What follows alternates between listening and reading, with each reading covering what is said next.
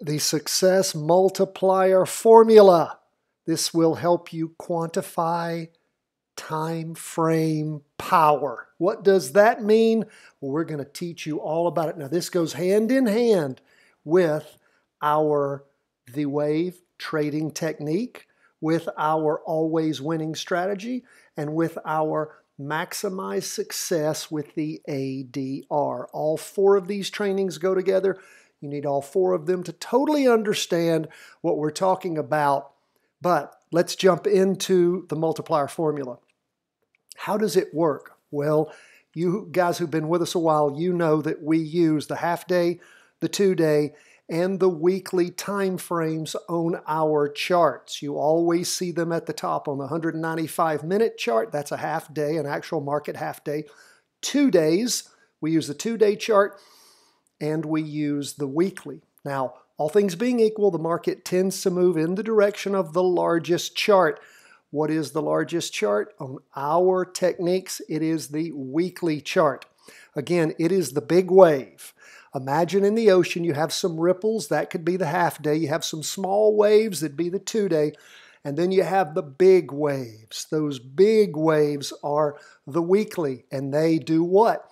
They push everything else in their direction. Now, at some point, they do calm down, and it takes a lot of little waves to make the big wave. And again, less to make the medium wave, but we keep that wave analogy in mind. Now, we assign numbers, that is weight to each time frame. the half day, we assign the number 1 to. The two day, we assign the number 4 to that. Why? Because it's four half days. It's two days, right? And then what do we assign to the weekly chart? You can do the math.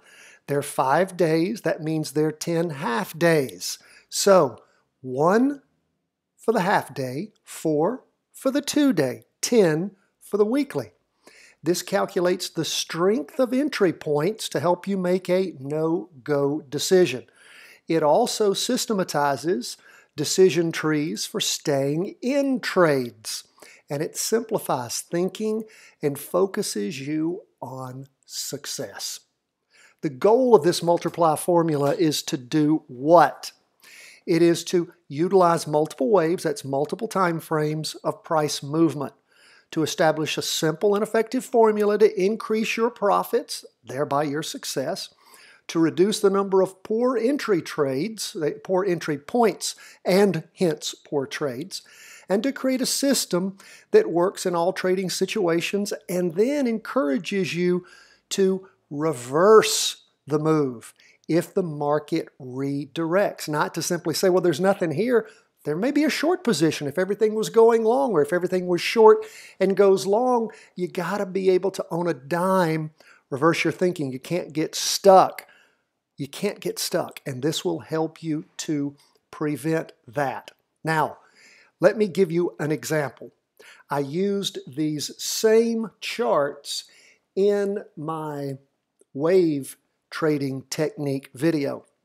This is a recent silver trade that I did in early April 2022.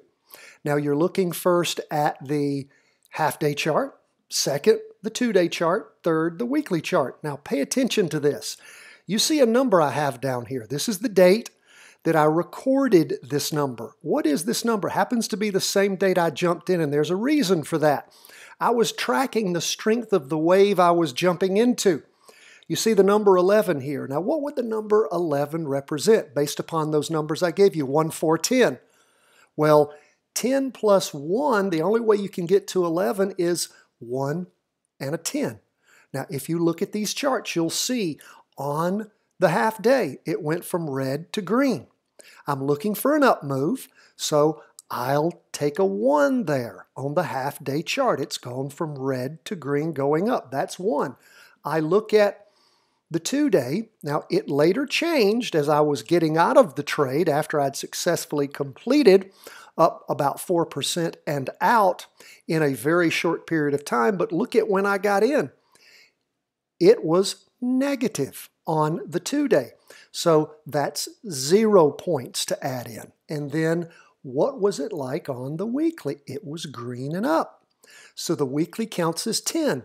10 on the weekly plus, oops, let's go to 1 on the half day, you get 11. So I put 11 there. So I knew going into this trade from when the STC went from red to green, and again, if you don't know what I'm talking about here, you need the training on the wave trading technique because we jump into up trades when it goes from red to green and prices above the 200 EMA.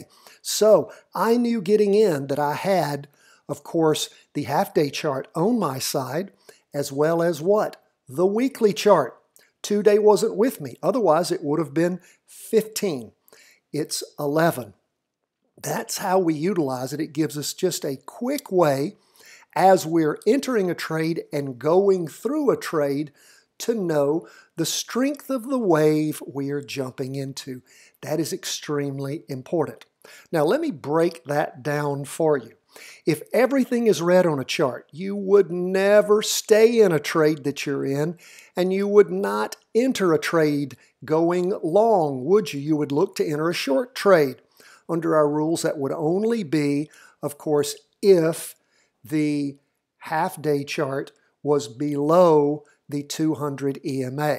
So the rule here is never stay in a trade when everything is against you. You'd be an idiot, right? And look to enter a short trade if everything goes red. You may have a short trade, you may not, but at least you can reverse that thinking on a dime. Now, if you have one point, what does that tell you automatically? And you'll you'll memorize this over time. It'll just click. You know that one point is a green 195 minute, but your two day and your weekly are going against you. Now, you could be calling the bottom in a move. You could be getting ready to literally hit the first up move after a stock or ETF has crashed, but that's going to be rare. It's just many times it'll just be a fluctuation and you jump in and because the two day and the weekly are going down, you get hammered. So we say rarely enter, if ever. Okay? Now, check out the next, number four. What does that mean? Well, you get zero points, so no points, no point for the half day, no points for the weekly. So four means you've got nothing going in your direction but the two day. Now, you wouldn't get in, but if you're in a trade and all of a sudden you jumped into the trade originally and all you had going for you was the half day and the two day.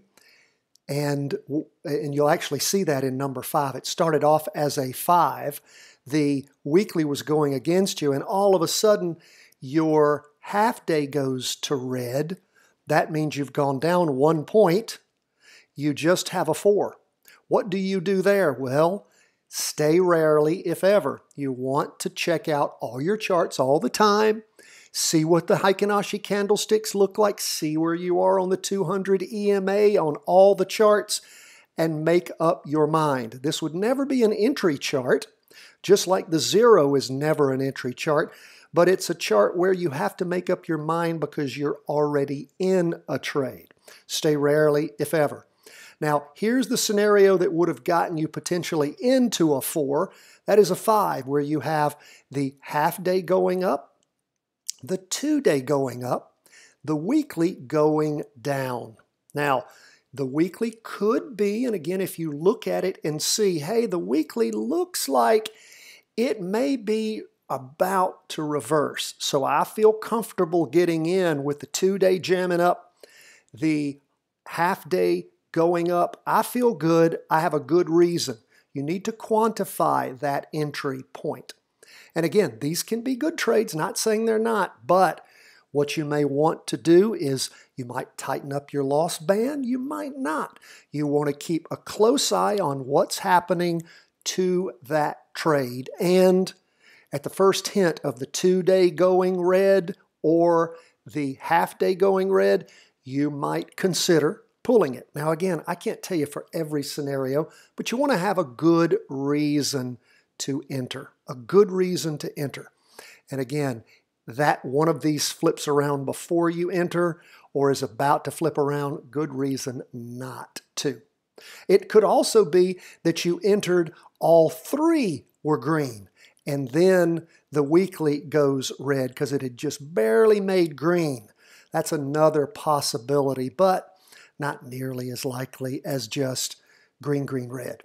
Okay, let's go to 10. Now, what does 10 tell us? That tells us the only thing we have going in our direction is the weekly. So you can stay, but with good cause. Pay attention to how much down acceleration you have in the half day and the two day in particular. What about an 11? Now that's an entry point. That can be a good one. In fact, that's what I had in my silver trade. I had a crossover going up. That was my trigger for jumping into this trade.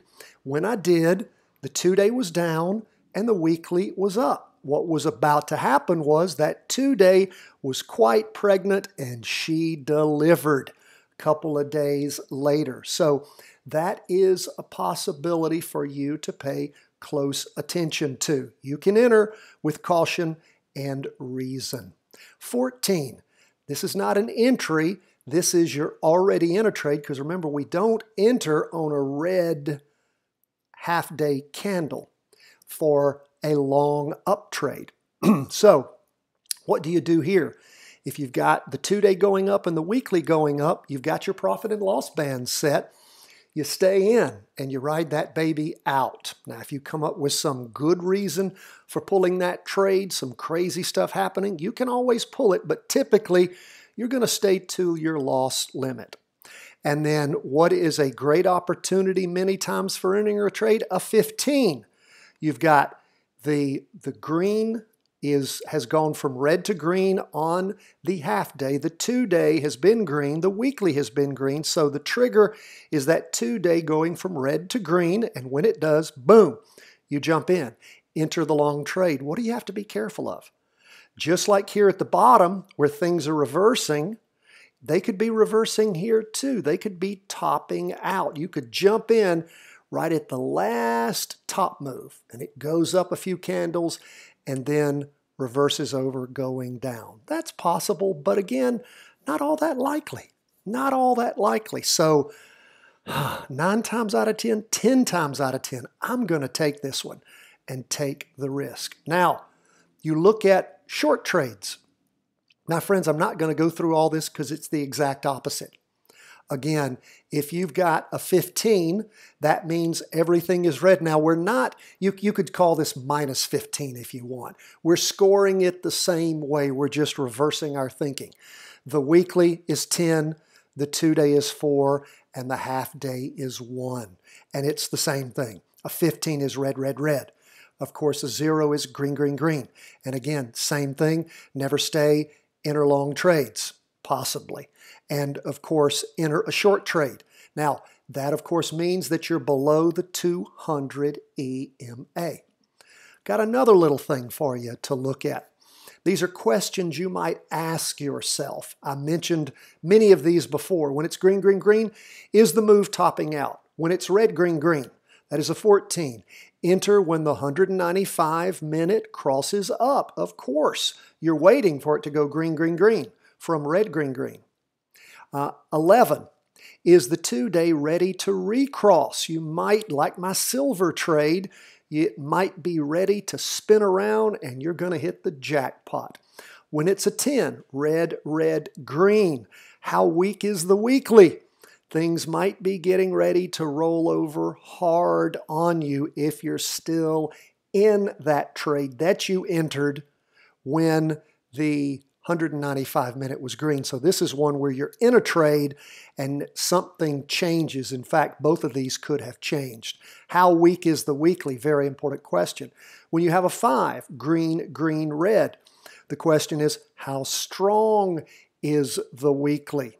How strong is it going in the opposite direction?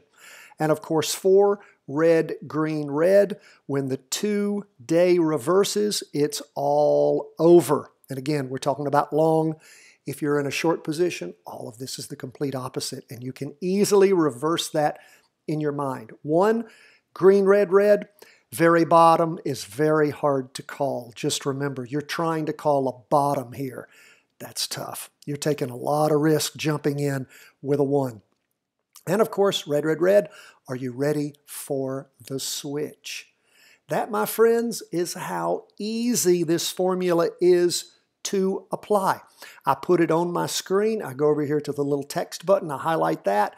Pops up a little window. I put in the number. It is the date.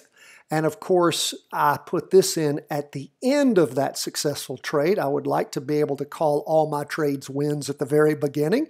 They're not all, but a large majority of them are. I want you to see how well you can do. Try employing this strategy. I think you will find the success multiplier formula very helpful to you in quantifying the time frame power with which you are dealing. My friends, we so appreciate hearing from you. Don't ever hesitate to write us charting cw at chartingwealth.com. Of course, the website chartingwealth.com. We are not a stock calling service. We offer no advice. We make no claims. We are dedicated to knowledge and education through our stock chart training, reviews, and other information. God bless my friends. All the best from the whole team at Charting Wealth World Headquarters.